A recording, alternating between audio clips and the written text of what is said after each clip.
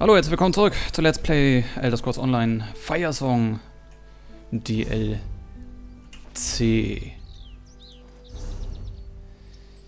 Ich stehe auch schon so weit bereit. Die Insel Garlin ist erstmal freigeschaltet worden. Ich habe auch geguckt, wo sie schon ist. Wird von Meereselfen, Räubern und druidischen Unruhen bedroht. Die Liga des Standhaften sucht nach Abenteuern, die den Haus Mormat behilflich sind, Garlin zu verteidigen. Meldet euch bei Fürst Barcaro Volus in der Stadt Vestür, falls ihr mutig genug seid, euch der Aufgabe anzunehmen.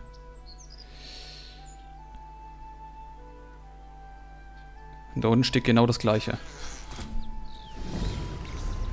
Ein Meer voller Ärger. Die Insel Garlin ist genau nördlich von hier. Und zwar da. Und offenbar sollen wir jetzt nach Wastür. So ein Zufall. Ich stehe genau neben einem Wegschrein. Sparen wir Zeit.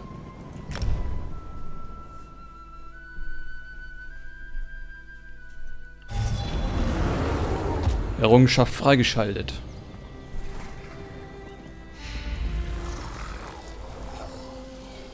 So, das ist der erste Tag, wo es raus ist. Deswegen ist es hier wahrscheinlich sehr voll. Und ja, ist so, ne? Das Gute ist, ich weiß nicht, wir werden mit der ersten Teil ja nicht so schnell durch sein. Und äh, ja, das ist super, das kann man ausblenden.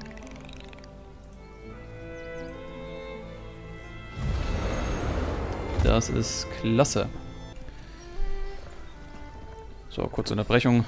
Geht weiter. So, es ist ja voll, von daher ist ja egal. In ein paar Tagen, ich glaube nicht, dass ich das so schnell durch habe, das ganze Spiel hier. Von daher passt schon. Heißt das. So, ich meine Chat mal hier weg. Das stört mich ungemein.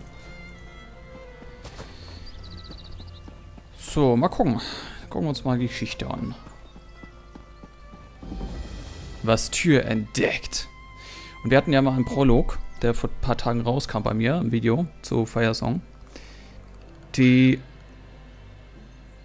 Namen habe ich vergessen. Die mit ganz komischen Deutsch umherkam, die Sess und Sem geschrieben hat.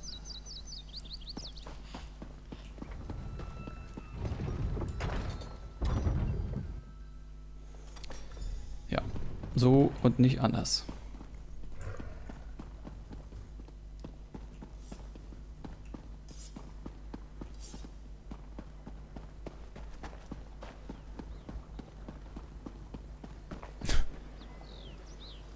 Wegschein drin, Wegschrein draußen. Naja. Diese Meereselfenpiraten werden jeden Tag unverschämter. Den Wegschrein von... Wann unternimmt Haus Monadin endlich etwas? Also, Was? Haus Dufort hatte auf Hochinseln nie solche Probleme. Nun, so ganz stimmt das nicht. Denkt an diese Vorfälle mit dem Orden der Emporstrebenden. Tür entdeckt.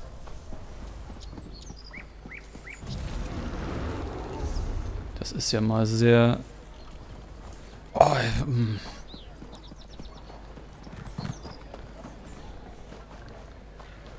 Ich weiß nicht, das MMO-Feeling kommt hier in dem Spiel nicht auf. Nicht das naturalistische Künstlerzeug an den Wänden des Adels, nein, praktische Malerei. Wenn ihr wollt, dass euer Haus vor der Landschaft heraussticht, dann bin ich euer Oh, die Stimme ist aber auch gealtert. die Stimme ist ja uralt geworden. Ich muss andersrum. Wie sieht es inventartechnisch aus? Ja, schon ziemlich kritisch. Das ist eine Bank, naja. Ich bin kein Freund, wenn das überlastet ist hier. Aber was soll's.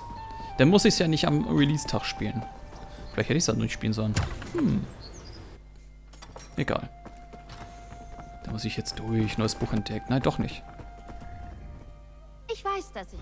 Ich weiß auch.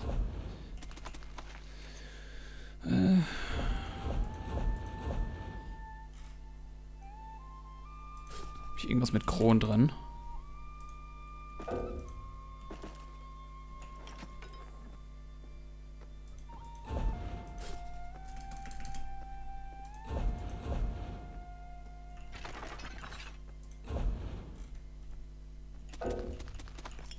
Ups. Äh, keine Ahnung, was ich eingelagert habe. Ist ja auch egal.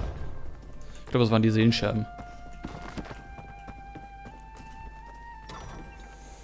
Aber die sind nicht ganz so wichtig. Vielleicht finden wir da noch ein oder zwei. So, Inventar sieht gut aus. Ja, dann kommen wir da lang.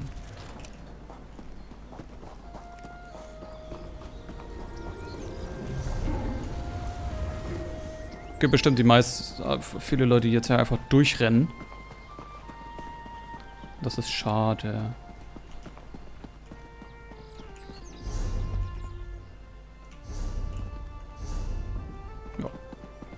Ja richtig. Ist das neue Musik?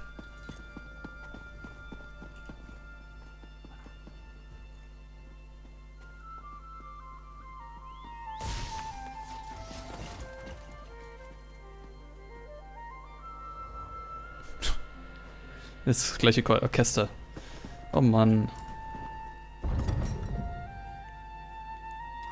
Ist eine neue Komposition. Es passt wahrscheinlich auch. Ja, es passt so oder so hierzu. Übrigens tolles Bild direkt. Wir warten, bis die apokalyptischen Reiter durch sind oder aus dem Bild.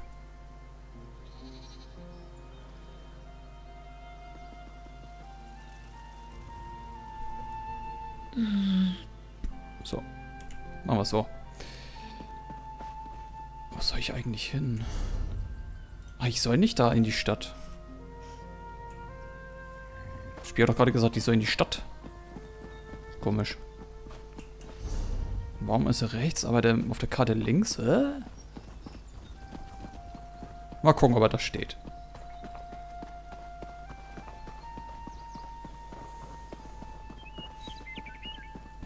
Weiß nicht, ob die das Entwicklerstudio den Stammorchester haben.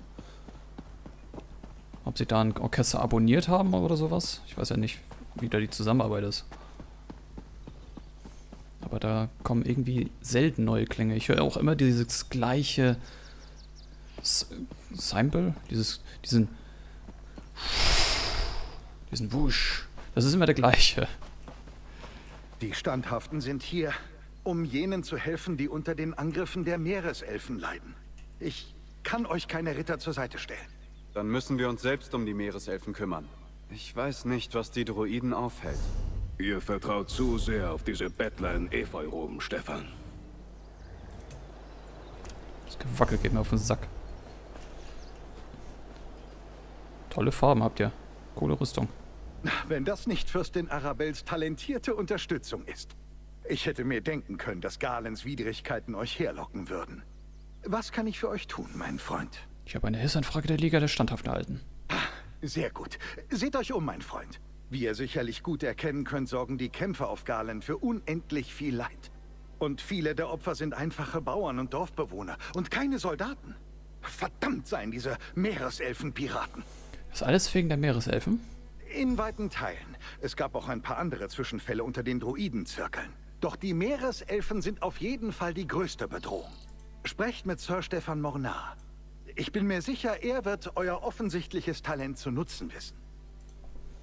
Okay. Ähm, der junge Sir Stefan ist dort drüben bei seinem Vater Graf Mornar. Sie werden gern jede Hilfe annehmen, die ihr zu leisten bereit seid.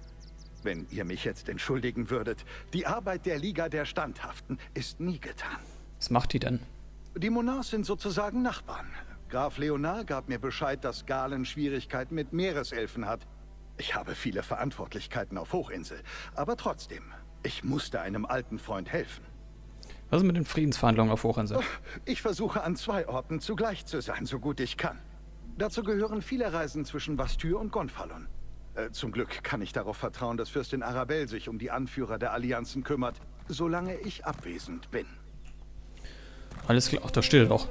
Wohlan, Abenteurer. Falls ihr nach Arbeit sucht, so kann ich jede Hilfe brauchen, die ich kriegen kann.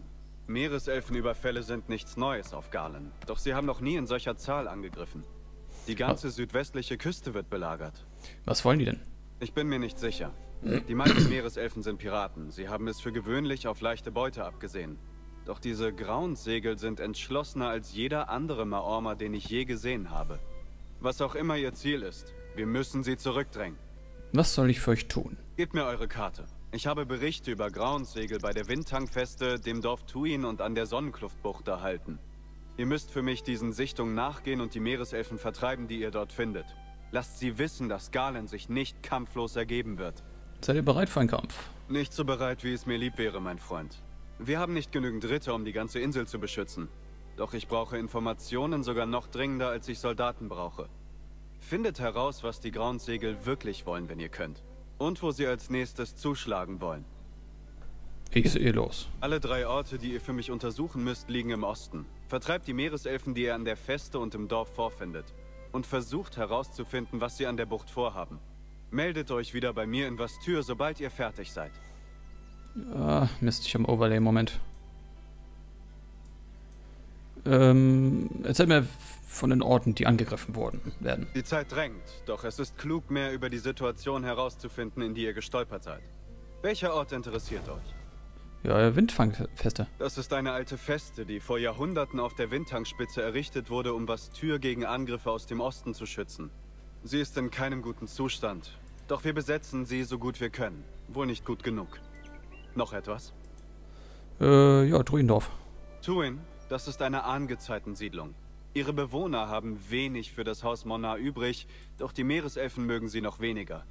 Ich rechnete damit, dass sie sich tapfer gegen die Grauensegel wehren. Aber wir haben schon eine Weile nichts mehr von ihnen gehört. Gibt es noch Fragen? Warum ist die Bucht wichtig? Hallo. Bis heute hätte ich die Sonnenkluftbucht für unwichtig gehalten. Sie ist ein durchaus malerischer Ort, doch es gibt wirklich bessere Stellen für eine Anlandung der Grauensegel. Ich habe keine Ahnung, was die Meereselfen dort wollen. Ist das alles? Welche drei, der drei Orte soll ich zuerst besuchen? Das überlasse ich euch. Mit etwas Glück findet ihr Verbündete an der Feste oder im Dorf. Doch was ihr auch tut, tut es schnell. Wenn wir uns der Meereselfenbedrohung nicht jetzt stellen, ist es nur eine Frage der Zeit, bevor sie vor den Mauern von Vastür stehen. Okay, die Frage brauche ich nicht stellen. Über die Druiden hat er gerade gesagt. Gut. Warum...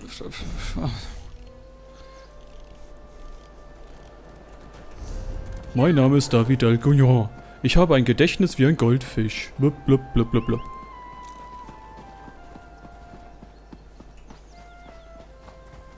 Weiß nicht. Ich glaube, der allgemeine IQ der aller Gamer ist, stark am Sinken. Ansonsten würden sie solche wiederholenden Fragen doch nie einbauen. Man kann sich das doch merken. Okay, Meereselfen haben angegriffen. Dolm. Dann gehen wir mal hier lang, folgen quasi diesen Kreis. Das will das Spiel sowieso. Und er hat ja sowieso hier gestanden.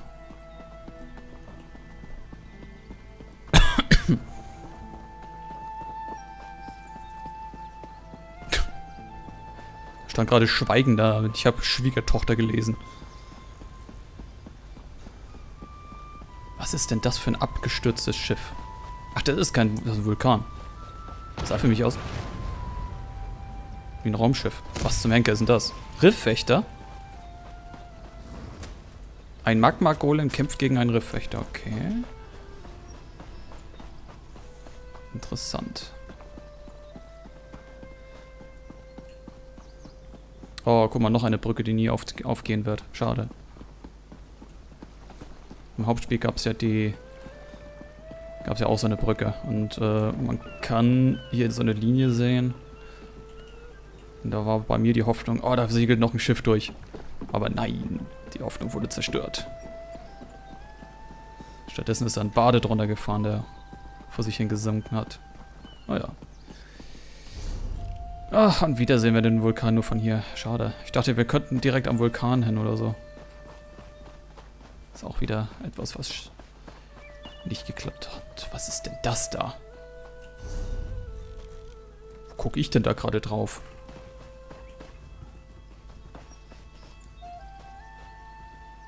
Sieht aus wie diese riesigen Berge aus Motorcourse Madness. Wo du hochfahren kannst mit dem Motorbike und wenn du zu weit gefahren bist, wirst du zurückgeschossen von der Kanone.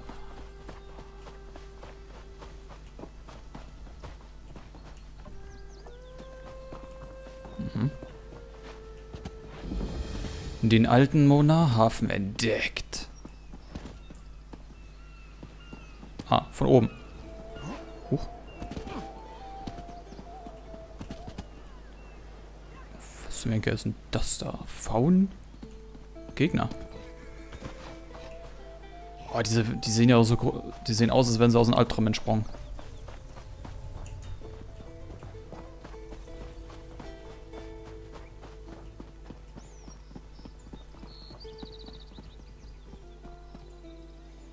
Das hat so mediterran... Nein, mein Harry ist ab. Das hat so mediterrane Klänge jetzt gerade. Kommt man sich vor, fast wie in Italien oder so.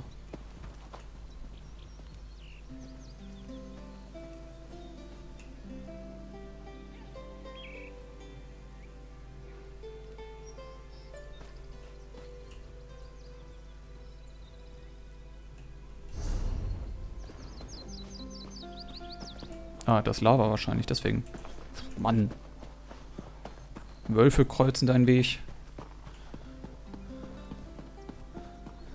Ein schlechtes Zeichen, wenn Wölfe von links nach rechts gehen. Also wenn Spieler hier durchrennen, dann sollen sie auch, und Gegner triggern, dann sollen sie auch die umbringen. Finde ich. Ist doch nur fair.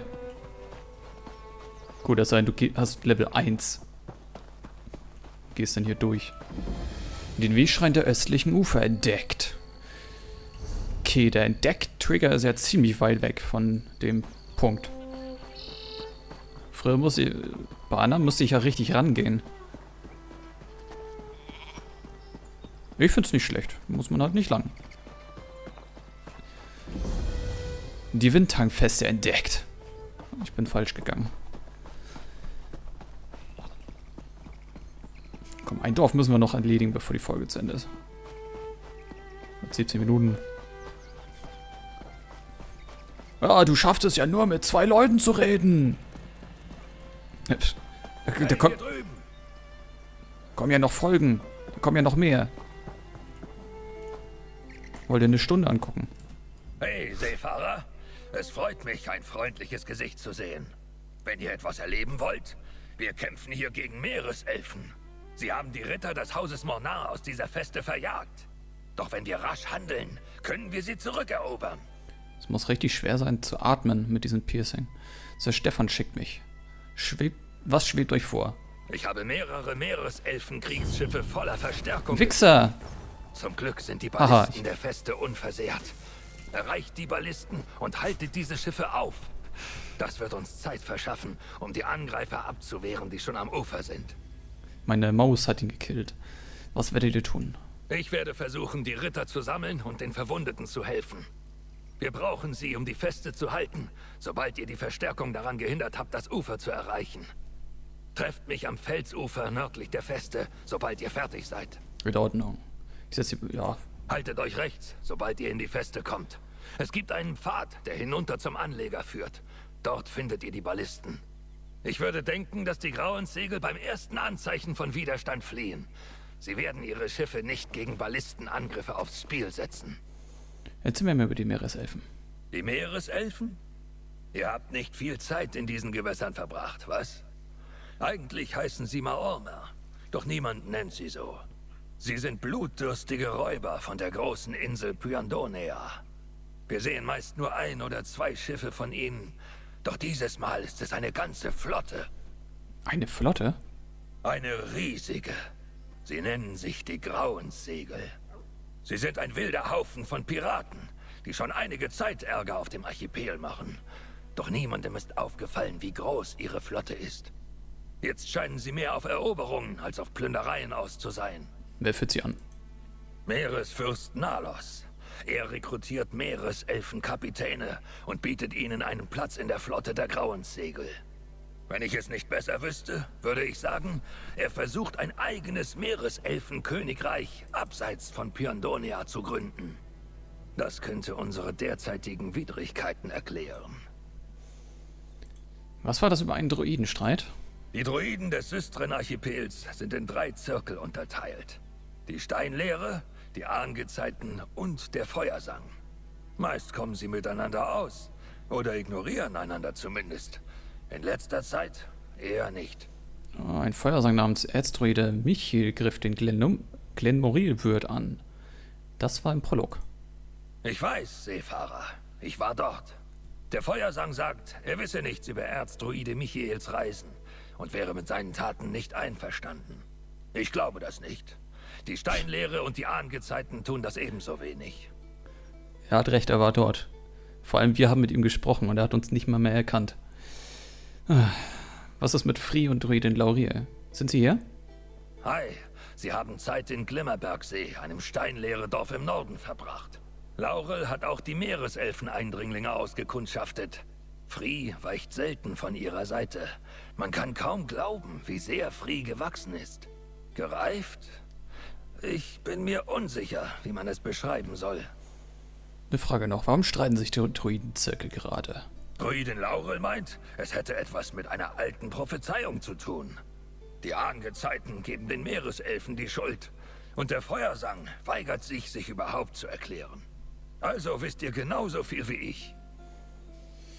Okay, was macht ihr hier? Nach unserem letzten gemeinsamen Abenteuer wollte ich mehr tun, um Druidin Laurel bei der Erkundung der druidischen Geschichte zu helfen. Ich kam hierher zurück, um ein paar alte Bücher aufzuschlagen und um ein paar Fragen zu stellen. Galen ist schließlich wie ein zweites Zuhause für mich. Zweites Zuhause für euch. Wisst ihr noch, wie ich ein Schiffsunglück erwähnte, das ein paar Jahre zurückliegt?